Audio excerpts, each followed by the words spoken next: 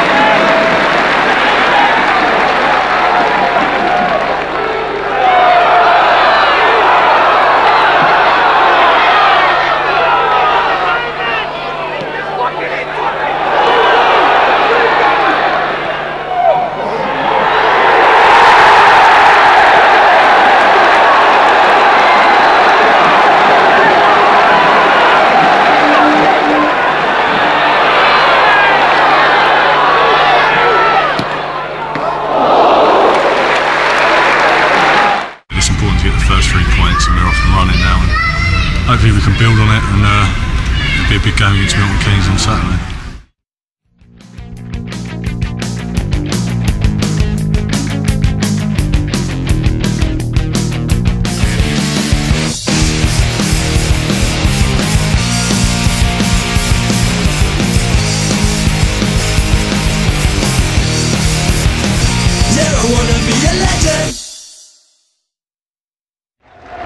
Looking to build on their Barnsley victory, the U's had to come from behind with 10 men after Aidan Davison's red card to rescue a point down at MK Dons.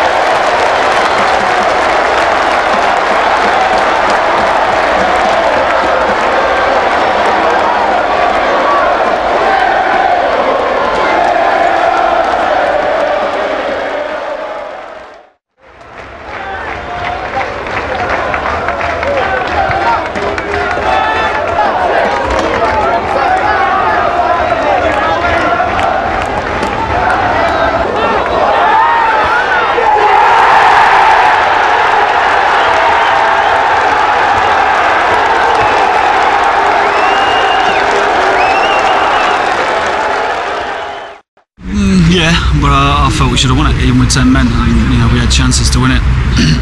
um, we didn't take them, um, but you know, obviously the character of the team go down to 10 men. It's got to be commended, and the lads deserve a lot of credit. First half, we were disappointed. Um, second half, we really got going, and um, I thought we were excellent. And uh, the keeper, obviously, he's got the man of the match award, and rightly so, because some of the saves he pulled off were, were exceptional.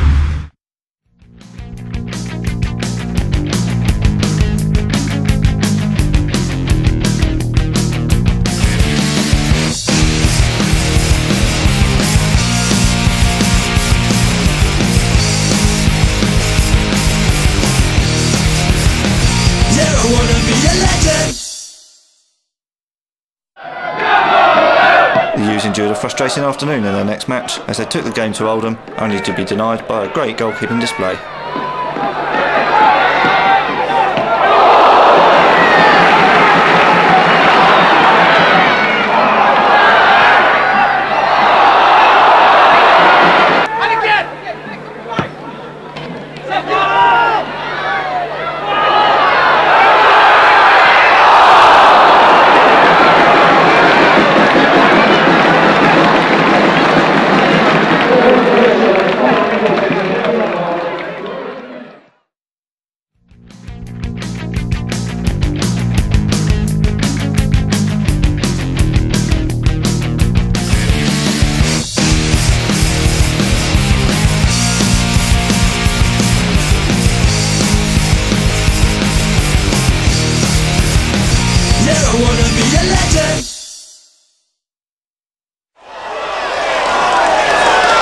Three-game unbeaten run came to an end in a disappointing display at Roots Hall.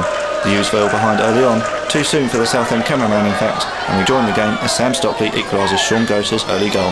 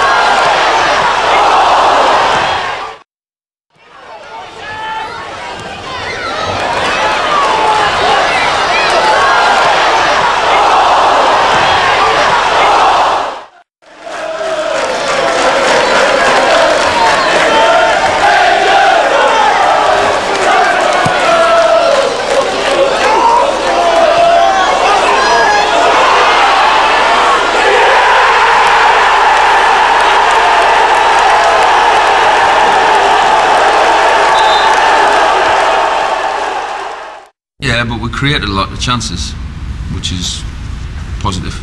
But obviously, the goals we conceding are poor. So, striking the balance. We're making mistakes collectively, but individually as well, which doesn't help. Um, but we just seem to be making more than we did last year. So I don't know if it's one thing or a combination. That's what we're trying to put our finger on at the moment. Hopefully, we'll get it right sooner rather than later.